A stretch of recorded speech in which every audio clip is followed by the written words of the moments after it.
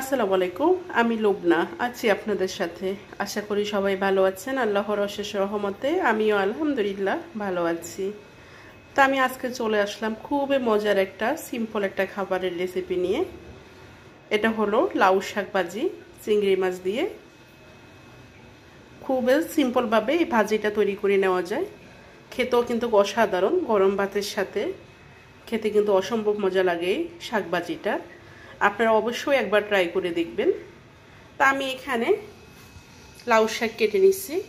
এখানে আমি লাউ শাকের ডাটার সাথে একটা আলু, সাত আটটা সিম একসাথে দিয়ে সুন্দরভাবে কেটে নিচ্ছি।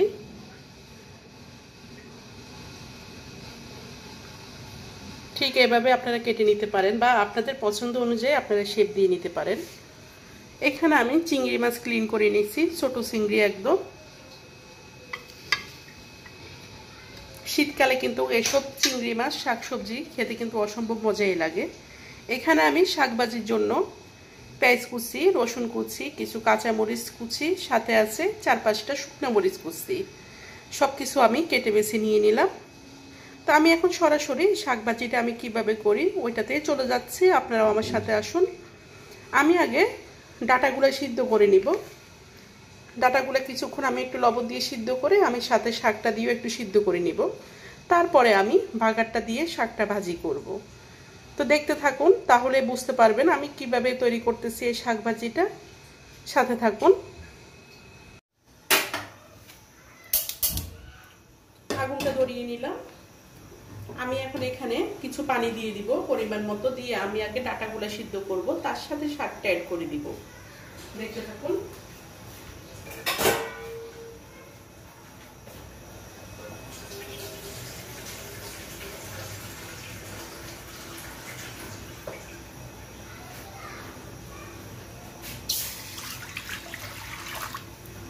পরিমাণ মতো পানিটা দিয়ে দিলাম। আমি এখানে একটু লবণ দিয়ে দিচ্ছি।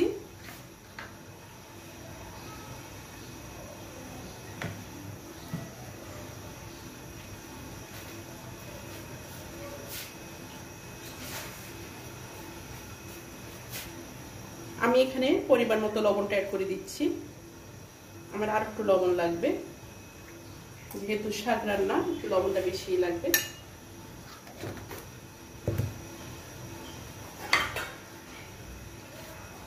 এখন ডাটাগুলা একসাথে দিয়ে দিচ্ছি।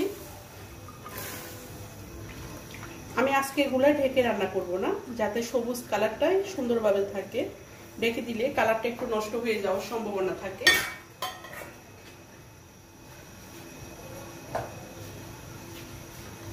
আমি ডাটাগুলো সিদ্ধ করে একটু পরে আসতেছি। ডাটাগুলো কিছুক্ষণ সিদ্ধ করে আমি লাউ শাকটা এটার সাথে অ্যাড করে দিব। আপনারা দেখতে থাকেন, তাহলে বুঝতে পারবেন আমি কীভাবে রেডি করতেছি লাউ শাক ভাজির রেসিপিটা সিদ্ধ হতে থাকুক, সাথে থাকুন আপনারা।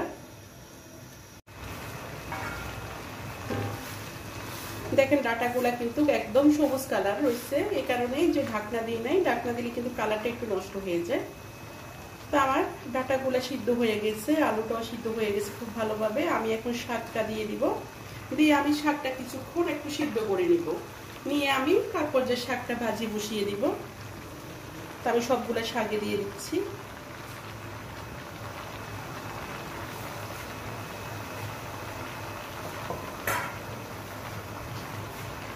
ভালোভাবে মিক্স করে নিচ্ছি।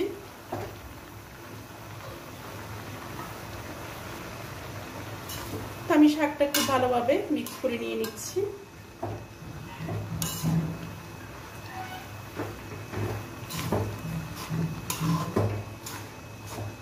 শাকটা কিন্তু রান্না করতে খুব বেশি সময় লাগে না। সিদ্ধটা করে নিলে খুবই অল্প সময় হয়ে যায় এটা।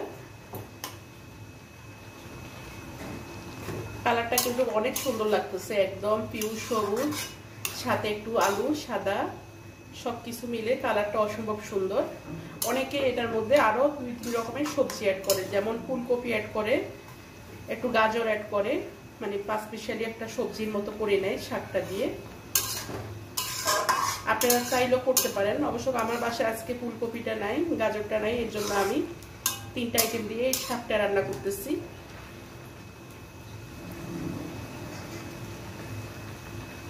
আমি হালকা একটু সিদ্ধ করে আসতেছি। এসে আমি ভাজিটা বসিয়ে দিব।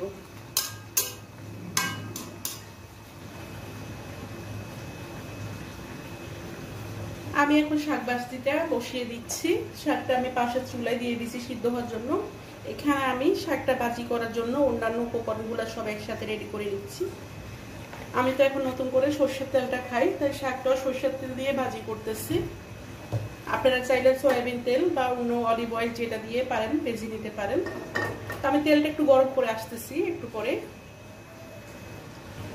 আমি তেলের সাথে খুবই অল্প পরিমাণ একটু লবণ দিয়ে দিচ্ছি। যেহেতু আমি শাক সিদ্ধ করার সময় একটু লবণ দিয়ে দিচ্ছি, এখন পরে দেখে দিব। আমি এখানে আস্তে আস্তে প্রথমে শুকনা মরিচটা একটু বেজে নিব।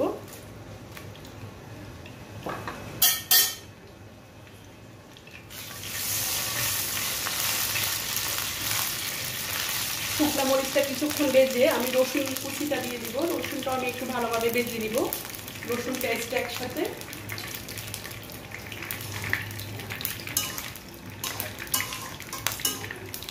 শাকটা আমার সিদ্ধ হয়ে গেছে খুব ভালোভাবে। আমি একটু পানিটা সরিয়ে নিই।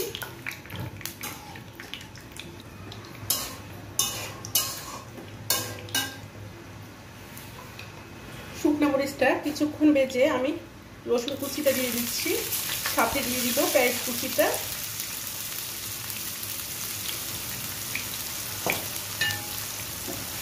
দিয়ে আমি ভালোভাবে পেঁয়াজটা একটু বেজে নিচ্ছি।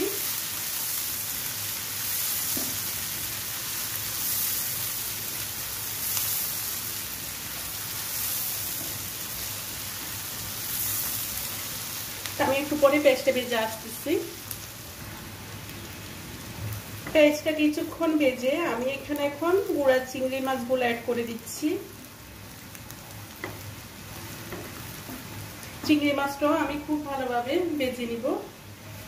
আমি এখানে পরিমাণ মতো চিংড়ি মাছ অ্যাড করে দিচ্ছি।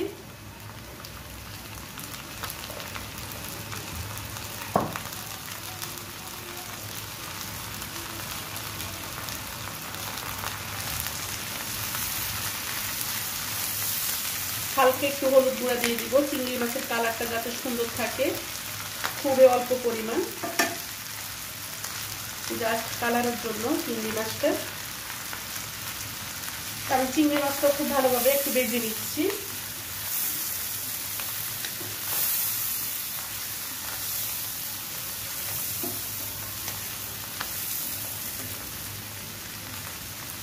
চিংড়ি মাছটা একটু পরে বেজে আসতেছি। চিংড়ি মাছটাও আমার ভাজা হয়ে গেছে। আমি এখানে অল্প একটু জিরা গুঁড়া অ্যাড করে দিব এখন। খুব অল্প। এই যে আপনারা দেখতে পারতেছেন, এটা শুধু হলো ফ্লেভারের জন্য। একটু জিরা গুঁড়াটা অ্যাড করবেন, আপনারা দেখবেন শাকের টেস্ট অনেক বেড়ে যায়। আর এখানে আমি চার পাঁচটা কাঁচা মরিচ কুচি করে রাখছিলাম আগে, আমি ওইগুলো দিয়ে দিচ্ছি। দিয়ে আমি আবার একটু ভেজে নিব ভালোভাবে। ভেজে আমি শাকটা অ্যাড করে দিব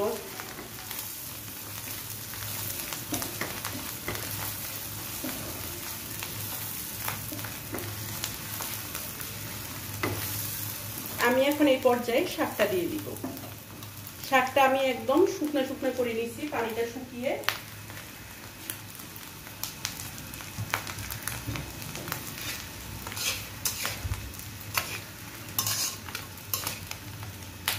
আমি শাকগুলো দিয়ে দিচ্ছি।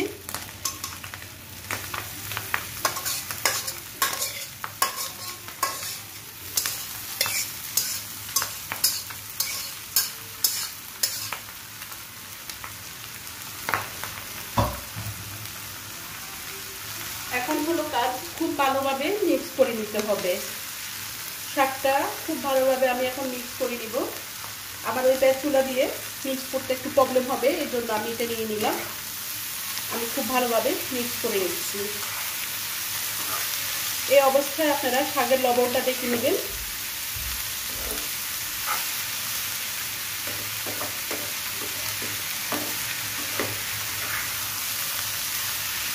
কালারটা কিন্তু গ্রোস অসম্ভব সুন্দর আসছে।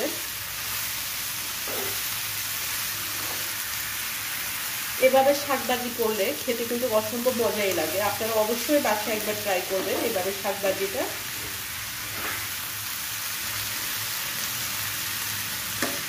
এভাবে শাকবাজিটা আমি আমার আম্মার কাছ থেকে শেখা।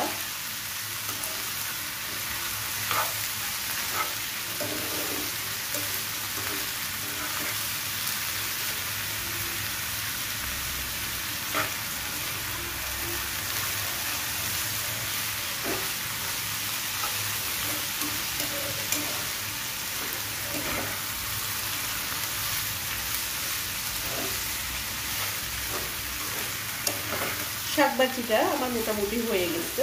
এভাবে শাকবাজিটা করতে বললাম না, আপনাদের খুবই শর্ট টাইমেও হয়ে যায়।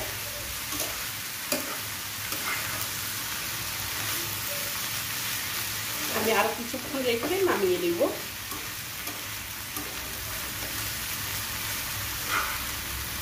আপনারা অবশ্যই বাসায় একবার ট্রাই করবেন এভাবে শাকবাজিটা।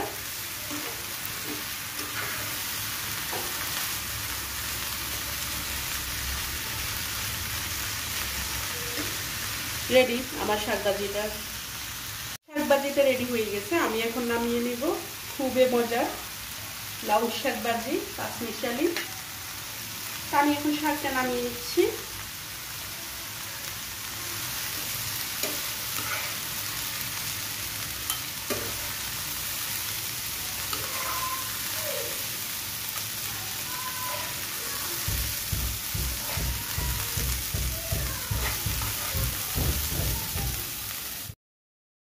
এই যে রেডি আমার অনেক মজার লাউ শাক ভাজি। আশা করি আপনাদের কাছে অনেক ভালো লাগবে। এইভাবে লাউ শাকটা একবার ভাজি করে দেখবেন। যেভাবে খুশি আপনারা তৈরি করে নিতে পারেন। এখানে আরও চাইলেও আপনারা সবজি অ্যাড করতে পারেন।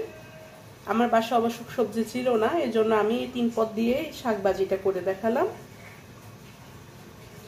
তো আপনাদের কাছে কেমন লাগছে অবশ্যই জানাবেন। আর আমার ভিডিওটা যদি দেখে ভালো লেগে থাকে, অবশ্যই আমার চ্যানেলটা সাবস্ক্রাইব করে দিবেন, লাইক, কমেন্ট করবেন। এবং পাশে থাকা বেল আইকনটি অবশ্যই ক্লিক করে দিবেন, যাতে নতুন নতুন ভিডিওর নোটিফিকেশন খুবই সহজে আপনাদের কাছে চলে যায়। তো ভালো থাকবেন, আল্লাহ হাফেজ, আসসালামু আলাইকুম রহমতুল্লাহ।